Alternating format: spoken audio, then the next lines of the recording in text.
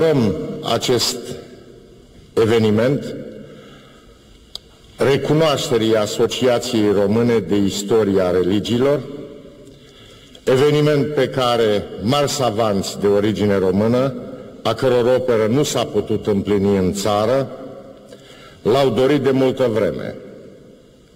I-aș aminti aici pe Mircea Eliade, unul dintre fondatorii disciplinei istoriei religiilor, de la a cărui naștere se vor împlini în 2007 100 de ani, și pe Ioan Petru Culianu, dispărut tragic.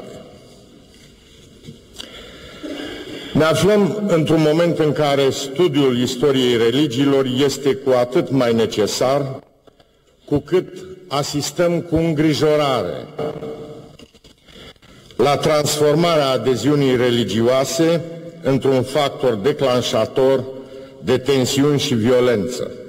Prin istoria religiilor cunoaștem în profunzime și cu onestitate culturile și civilizațiile lumii și mai ales știm că nu vom putea întemeia o civilizație a păcii fără o cultură a dialogului. Avem datoria comună de a reflecta asupra rolului pe care religia îl ocupă în societățile noastre, precum și asupra responsabilităților care revin tuturor celor care se exprimă în spațiul public. Sarcina de a crea și a păstra în spațiul comun în care libertatea fiecăruia dintre noi se întâlnește cu a celorlalți, ne revine tuturor.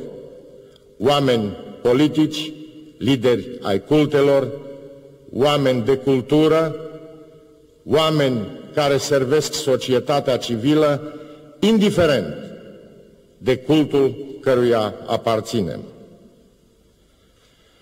Prin expresia câmpului său de cercetare, istoricul religiilor este cel mai în măsură să ne vorbească despre pluralismul religios și despre mutațiile pe care civilizația noastră le cunoaște.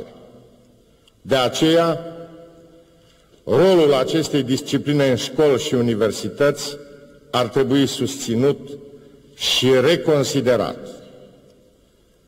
Spun aici, în fața uneia din cele mai strălucite adunări de oameni specializați în istoria religiilor, că România trebuie să înnoade, să reînnoade tradiția lui Eliade și, în timp scurt, să avem măcar o catedră de istoria religiilor în Universitatea București.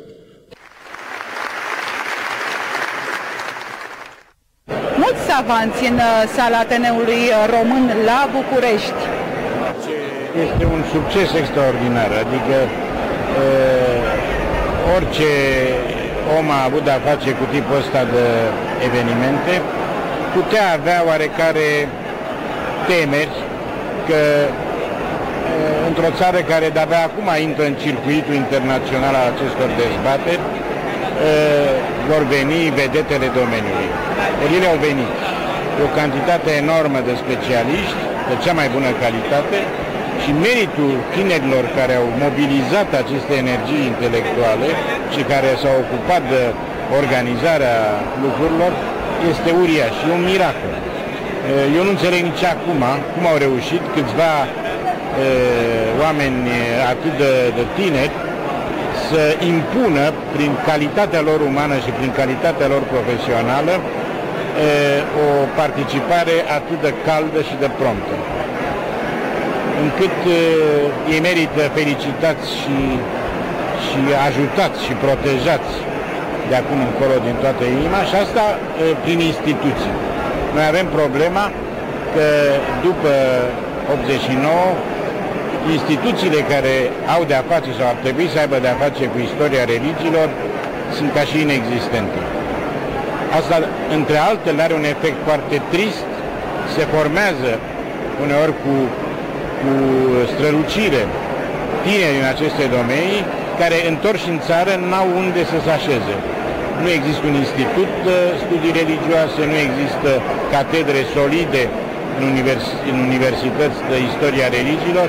În urmare, ei sunt obligați fie să emigreze, fie să fie marginalizați. E urgent și sper că acest congres și anul Eliade să fie o provocare în, prim, în privința asta, e urgent să creăm instituții pentru acești oameni. Domnule Patapievici, un grup de tineri, un grup inimos uh, care, iată, a reușit să organizeze o manifestare de acest gen, să provoace, de fapt, uh, nu vă amintiți de, nu dați ani în timp și vă amintiți de uh, idealurile dumneavoastră când erați ca acești tineri? Chiar m-am gândit uh, când ați avut discursul pe scenă la, la o asemenea întrebare. Să ai minte, să ai competențe, să ai o inimă generoasă și să trăiești în libertate e formura fericirii. Generația mea a avut minte, a avut o inimă generoasă, dar nu a trăit în libertate. Și atunci totul s-a pus diferit pentru noi. Ceea ce admir cel mai mult la ei, și nu știu dacă îi pomenesc pe toți, Eugen Ciurtin, Mihaela Timuș, Gabriela Cursaru, Mihail Neamțu, Bogdan Tătaru Cazaban. Sper să nu fi uitat pe cineva. Toți aceștia au înființat, pornind riguros de la zero, o asociație de istoria religiilor. Au fundat două reviste care s-au impus internațional, pe care le publică cu contribuții extraordinare. Au afiliat această asociație unei organizații internaționale, ceea ce înseamnă că meritele lor au fost recunoscute de oameni competenți. Și acești tineri și-au asociat instituții ale statului român și au pus pe picioare o premieră absolută nu numai pentru România, dar pentru estul Europei. Iar pentru România este o revanșă pe care o luăm față de Alexandru Dobescu, care a încercat să facă la sfârșitul secolului al XIX-lea o întâlnire internațională la București și a eșuat, și uh, pentru toate speranțele care s-au legat de contribuțiile remarcabile ale lui Mircea Eliade și al lui Ioan Petru Culianu, de a crea ceva instituțional în România legat de istoria religiilor. Acum parcă suntem pe calea cea bună. Și este și o revanșă a generației uh, lui Horia Roman Patapievici? Da, pentru că datorită lui Mircea Eliade, generația mea a inclus între lucrurile pe care un om cultivat trebuie neapărat să le știe istoria religiilor. Așa cum pentru noi toți tenisul de câmp a devenit ceva obligatoriu uh, după Ilie Stase, după Mircea Eliade, istoria religiilor a devenit obligatorie pentru formula normală uh, sufletească și intelectuală a unui om cultivat. Mai puțin pentru viața academică. Mai puțin pentru viața academică, pentru că încă în Universitatea Românească nu există o catedră de istoria religiilor.